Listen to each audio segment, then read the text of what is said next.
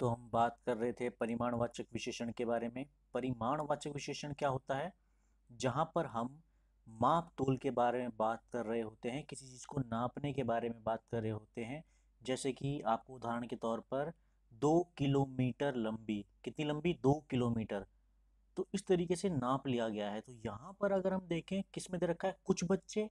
यहाँ पर आप नापने की बात नहीं कर रहे हैं मीज़र करने के बारे में नहीं कर रहे हैं। सभी लोग? नहीं। दो किलो अनाज, कितना अनाज? दो किलो। क्या आप उसे माप सकते हैं? हाँ आप उसे माप सकते हैं। तो ये क्या हो गया? परिमाणवाचक। और विशेषण जो किसी चीज़ के बारे में जानकारी दे। ठीक है नेक्स्ट उसके बाद देखते हैं, वस्तु का संधि विच्छेद है। वर्षा, जिसका एक अपना मीनिंग है, यानी कि बारिश, ऋतु, यानी कि आने वाले मौसम, जिनका अपना एक मीनिंग हो। तो संधि विच्छेद आपका वस्तु क्या होगा? आपका वर्षा, ऋतु होगा। नेक्स्ट आपका देखते हैं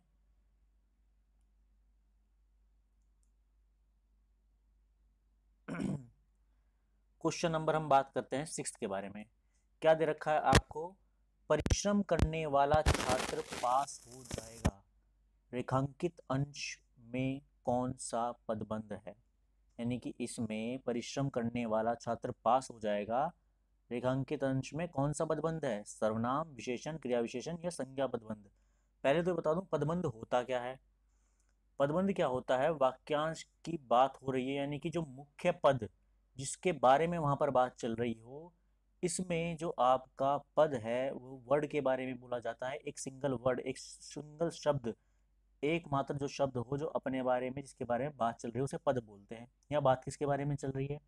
परिश्रम करने वाला छात्र। छात्र के बारे में बात चल रही है तो यहाँ पर अगर छात्र के बारे में बात चल रही है तो छात्र क्या है? छात्र एक संज्ञा है। और अगर छात्र एक संज्ञा है तो आपका आंसर क्या हो जाएगा? इसका आपका आंसर हो जाएगा संज्ञा पदबंध। ये क्या है आपका? ये संज्ञा पदबंध है। नेक्स्ट देखते हैं। वह सर्वनाम के किस भेद के अंतर्गत आता है? वह जो है आपका अन्य पुरुष के भेद के अंदर आता है। वह जो सर्वनाम है आपका किस भेद के अंदर आता है? यह आता है अन्य पुरुष। इसके लिए मैं आपको वीडियो के आखिरी में या वीडियो से लिंक करके फ़ोटो भी डाल दूँगा, जहाँ पर ये शो कर रखा है कि कौन कौन से ऐसे शब्द हैं जो अन्य पुरुष के उसमें आते हैं, जिसमें से कि आपका एक क्या है, आपका वह क्योंकि ये उत्तम पुरुष और मध्य पुरुष का तो है नहीं, ये क्या है, अन्य पुरुष से रिलेट करता है। मैं इसके बारे में आपको और जानकारी विस्तार में डाल दूँगा। नेक्स्ट देखते हैं, निम्न से कौन सा तुर्की भाषा का शब्द है? इनमें से कौन सा तुर्की भाषा का शब्द है?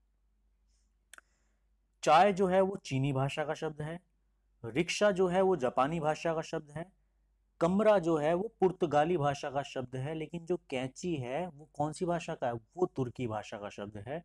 तो ये जो शब्दावली है कि कौन सा किस भाषा से जुड़ा हुआ है, ये आपको पता होना बेहद आवश्यक है यदि आप एग्ज़ाम की तैयारी कर रहे हैं। तो नेक्स्ट आप देखते हैं, राहुल सांकृत्यान का मूल नाम था।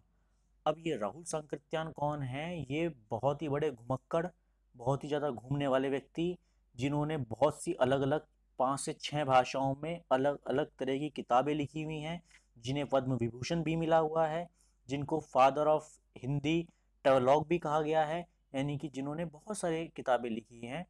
इनका जो नाम था, वो था केदार पांडे। जो इनका जन्म का नाम था, वो था केदार पांडे।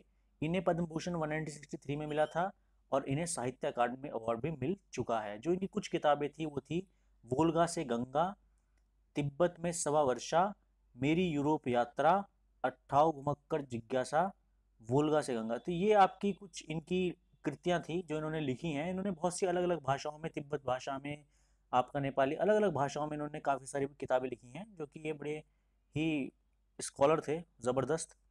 नेक्स्ट देखते हैं तारीख शब्द के बारे में।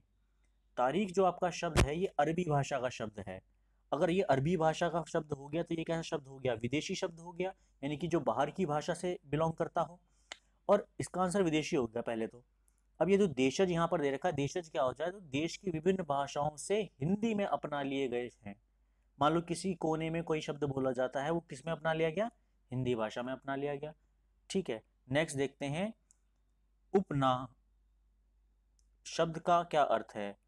उपनाह शब्द का क्या अर्थ है? इसका शब्द का अर्थ क्या होता है? इसका शब्द का अर्थ होता है खड़ऊ या जूता। क्या शब्द का अर्थ है? खड़ऊ या जूता। उपानह क्या शब्द है? उपानह तो जी नेक्स्ट देख लेते हैं। नेक्स्ट हमारे पास ये है। चलिए तो फिर देखते हैं क्या है हमारे पास। पूछ रखा है, जौन सारी बोली निम्न लिखित में से किस वर्ग में आती है। जौन सारी बोली, निम्नलिखित में से किस वर्ग में आती है? पूर्वी पहाड़ी, मध्यवर्ती पहाड़ी, पश्चिमी पहाड़ी और उपयुक्त में से कोई नहीं। अब जो उत्तराखंड का अगर आप पश्चिमी हिस्सा जानते होंगे, जो कि देहरादून से लगता हुआ है, जो कि विकासनगर से लगता हुआ है, वो हिस्सा है जौनसार तो जो जौनसार है, वो जब पश्चिम में हो गया तो वो कौन सी बोली जाएगी? वो बोल जाएगी पश्चिमी पहाड़ी। ठीक है तो जौनसारी बोली कौन सी है? पश्चिमी पहाड़ी बोली है। नेक्स्ट देखते हैं। लघुत्तरीय शब्द में कौन सी संधि है? कौन सी संधि है जी?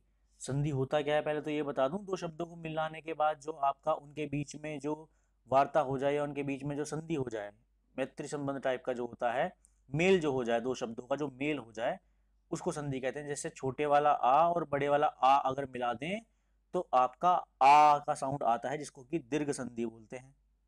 ठीक है जी? कौन कौन सी संधि होते हैं? स्वर संधि, व्यंजन संधि, विसर्ग संधि और इनके बहुत सारे अलग अलग प्रकार हैं, लेकिन यहाँ पे पूछ रखा है कि लघु उत्तरीय कौन सी शब्द किस संधि से है? तो जी, ये गुण संधि से है यण संधि से है वृद्धि से या दीर्घ है? ये दीर्घ संधि से है। दीर्घ संधि से क्यों है? क्योंकि यहाँ पर छोटा ऊ और बड़ा ऊ मिलके ऊ का साउंड प्रोड्यूस करते हैं बड़े वाले का तो ये इसलिए दीर्घ संधि में आ जाएगा। कि लघु और उत्तरीय, लघु और उत्तरीय तो दो जो साउंड वहाँ पर आ रहे हैं ऊ के वो बड़े वाला ऊ जनरेट करेंगे, इसलिए क्या हो जाएगा? दीर्घ संधि में आ जाएगा आपका। मैं कॉमा पर किस कारक के चिन्ह है? ये अधिकरण कारक के चिन्ह है, ठीक है? जैसे कि कमरे में टीवी रखा है, उदाहरण के लिए अधिकरण का।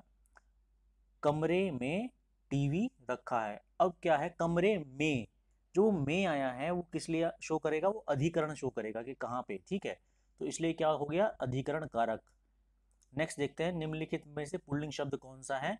सिर्फ़ में, इन चारों में अगर हम ध्यान से देखें तो फौज, उसमें कोई सा भी आप लिंग नहीं लगा सकते, सभा, वो भी आपका कोई सा भी लिंग नहीं लगेगा और सरकार, उसमें भी कोई सा भी लिंग नहीं लगेगा, ना स्त्री ना पुल्लिंग तो सिर्फ़ एक रहेगा कुटुंब कुटुंब का मतलब क्या होता है? परिवार या खानदान, और परिवार या खानदान किसकी साइड आ जाता है? आपका पुल्लिंग शब्द हो जाता है आपका. तो आंसर क्या हो गया इसका? कुटुंब. ये हिंदी का पार्ट था आपका दिया हुआ उत्तराखंड के पेपर का. इसको हमने डिस्कस कर लिया बहुत अच्छे से मेरे ख्याल से. और इससे रिलेटेड में जो फ़ोटो है वो भी आपका लिंक में डाल दूँगा, जिनमें मैंने आंसर में फ़ोटो के लिए बोला है।